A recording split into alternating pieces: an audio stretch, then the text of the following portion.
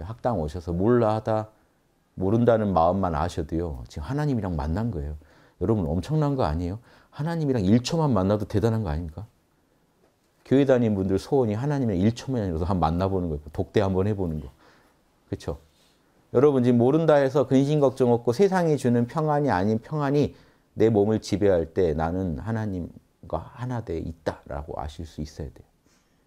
1초만이라도. 끊어지면 또, 또 해보세요. 또 수시로 만나세요. 수시로. 아니 성령불이 꺼지지 않게 하라고 그랬는데 꺼지지 않는 거는 뭐 힘들더라도 자꾸 자꾸 만나야 되는 건 아닙니까? 그래서 여러분 지금 이 순간 하나님을 만나고 그리고 그 다음에요. 그래서 기뻐하고 감사하고 하나님 마음으로 내 마음이 여유로워지고 그 다음에 양심 분석을 해서 자명한 게 뭔지 찜찜한 게 뭔지 읽어내실 수 있다면 여러분은 지금 이 순간 이미 천국에 살고 거예요. 찰나일지라도 천국을 여러분 맛보시고 천국을 여행하신 겁니다. 그 찰나찰나의 기억들이 여행의 좋은 기억들이 남아서 내 삶을 바꾸듯이 찰나찰나의 하느님과의 만남, 하느님 뜻을 따르는 양심적 삶들이요. 여러분 에고의 삶을 조금씩 바꿔놓습니다. 그러다 그러다 사도 바울이 말한 성령불이 꺼지지 않고 늘 그런 단계도 오는 거예요. 자연이 와요. 이건 자꾸 자꾸 하면 자연이 되게 돼 있는 거니까 신경 쓰지 마시고 더 본질적인 거 가지고 얘기하자고요. 지금 이 순간, 지금 이 순간이요. 과거도 아니, 미래도 아닌 지금 여기서 하느님 지금 만나고 계십니까? 뭐 양심에 찜찜한 거 없으십니까? 요것만 보자고요. 요거 보아서 당당하시면 지금, 지금 하느님 나라에 살고 계신 거예요. 지금 부처로 살고 계신 거예요. 그렇죠? 보살로 살고 계신 거예요.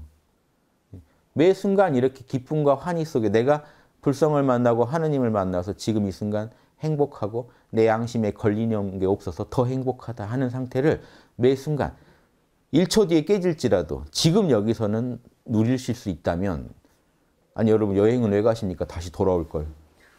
갔다 오면 좋잖아요. 예, 그러니까 지금 보세요. 참나를 왜 자꾸 아 근데 말씀대로 만나도 찰나찰나 끊기는 거 아닙니까? 일주가 안 되면 그거 부질없는 거 아닙니까? 아니에요. 여러분 삶이 완전히 바뀌어요. 늘 여행 다니는 삶으로 바뀌어요. 천국 여행 다니는 삶. 천국 여행자는 되셔야죠. 일단. 천국에 쭉 사는 건 아니라도 아, 나 천국 갔다 와. 한 번씩 갔다 와.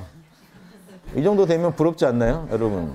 여러분 몰라 하시다가 근심 걱정이 딱 끊어지고 내 안에 있는 근원적인 그 힘의 자리, 그 영의 자리를 만나면요. 완전히 색달라집니다. 영혼이. 에고가 전혀 다른 기분을 느끼게 돼 있고요.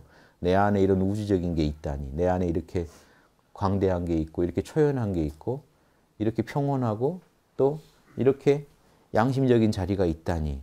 이 만남을 제가 늘 말씀드리지만 그날은 그날의 감동이 필요해요. 오늘 또 하루 만나셔야 돼요. 어제 만난 거 가지고 그 기억으로 사는 것도 좋은데 점점 옅어집니다. 기억은 옅어지게 돼 있어요. 또 해보셔야 돼요.